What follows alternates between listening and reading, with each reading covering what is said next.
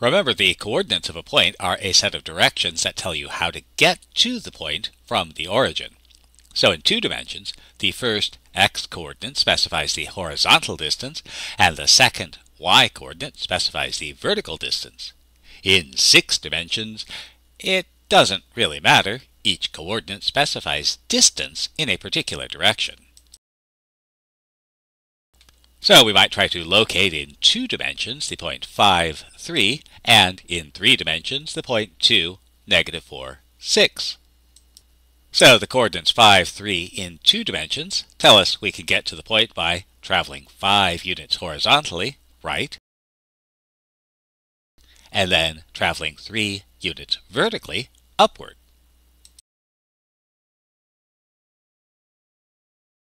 Now if I'm in three dimensions, the coordinates 2, negative 4, 6 in three dimensions tell us we can get to the point by traveling 2 units towards. That's if we use our standard orientation in the first octant. And then we'll travel 4 units to the left, since our y-coordinate is negative. And then finally our z-coordinate is 6, so we'll travel 6 units upward. But what if we want to get from one point to another point?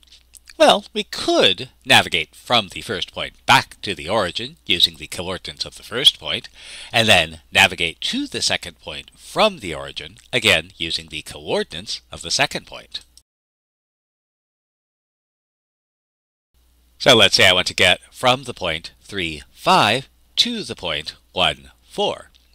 Now, since the point 3, 5 is the point you get 2 by traveling from the origin and going 3 units to the right and 5 units upward, we can reverse these steps to get back to the origin.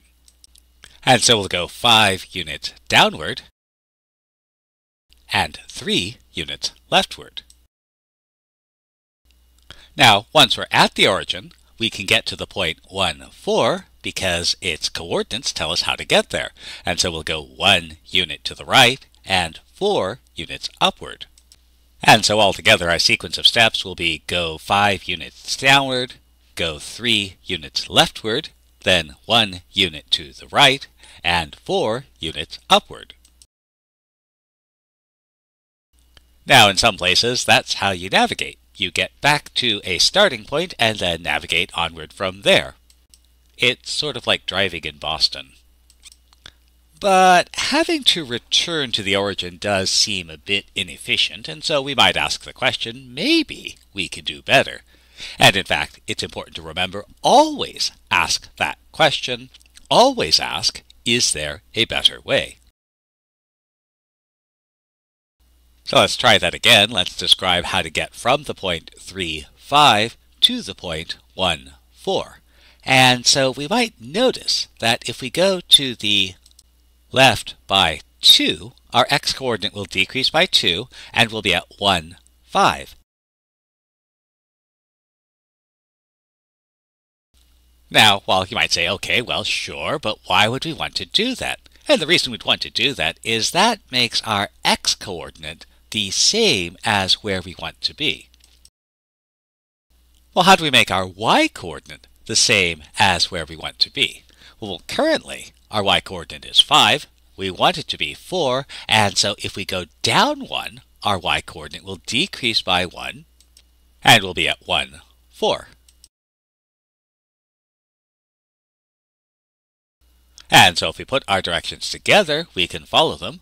We're going to go left 2 units to 1, 5, and then down 1 unit to 1, 4. So, for example, let's describe how we can get from 2, 5 to 1, 7.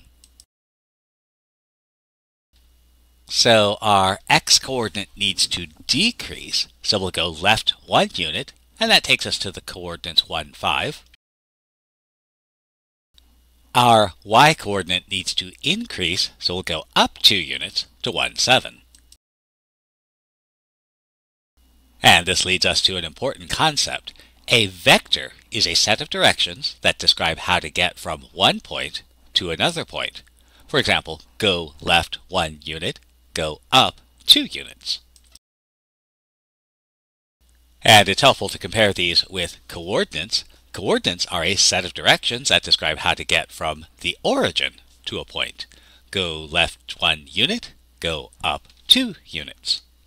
As you can see, there's not a lot of difference between the idea of a vector and the idea of a coordinate. Really, a vector is a generalization of the idea of a coordinate. In a coordinate, our starting point is always going to be the origin. In a vector, we can start anywhere. And so the only real difference between vectors and coordinates is that a vector can start anywhere. Now, to distinguish between vectors and coordinates, we typically use angle brackets. So the angle bracket negative 1, 2 is a vector. Meanwhile, parenthesis negative 1, 2 is a set of coordinates. But in both cases, they specify the same directions, go left 1 and up 2, and the only difference is that with the set of coordinates, we know where we're starting, but with the vector, we know that these are the directions we're getting from some point to another point.